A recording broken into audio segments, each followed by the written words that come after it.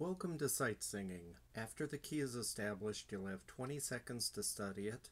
You'll hear the key again, then you'll have 30 seconds to perform. Here we go.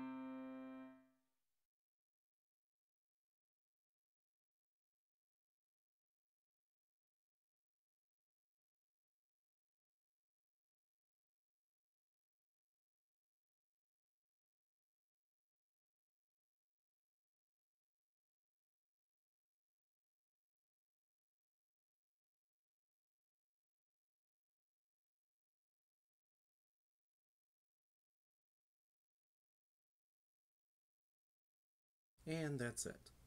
Thank you very much for your recording.